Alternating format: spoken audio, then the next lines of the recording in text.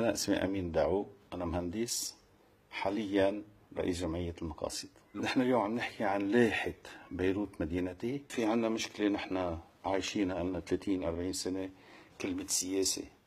كلمة سياسة صارت عند كل الناس كلمة مبتذلة وغيضة ما حدا بحبها.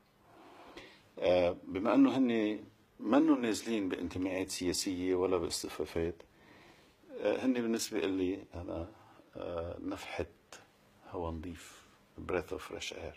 هن يقرؤون السطور ليس ما بينها. فيعني هول واضحة عندهم الرؤية. وهيدا الموضوع كتير مهم كتير مهم لأنه نحن بدنا الرؤية المضبوطة بدنا الشغل المضبوط. وإن شاء الله لائحة بيروت مدينتي اللي بيمثلوا هالشباب ينجحوا بمساعيهم.